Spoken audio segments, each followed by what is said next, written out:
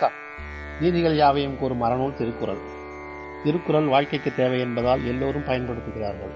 வானொலி தொலைக்காட்சி பேருந்து என்ற எல்லா இடங்களிலும் திருக்குறள் இருக்கிறது. எழுத்தில் பேச்சு. அணில் ராமபிரானுக்கு உதவியது போல் எங்கள் கல்லூரியிலும் திருக்குறள் தொடர் ஆரம்பமாகிறது. முதல் முயற்சியாக தமிழ் விளக்கமுடன் ஆங்கில விளக்கம் இணைந்து வழங்குகிறோம் தயை கூர்ந்து தினமும் திருக்குறளை கவனமாக கவனிப்பதுடன் நிற்காமல் அதன் சாரத்தை உள்வாங்கி வாழ்க்கையில் பயன்படுத்தி எல்லோரையும் பயன்பெற செய்து நாட்டை வளமானதாக ஆக்க வேண்டுகிறோம்.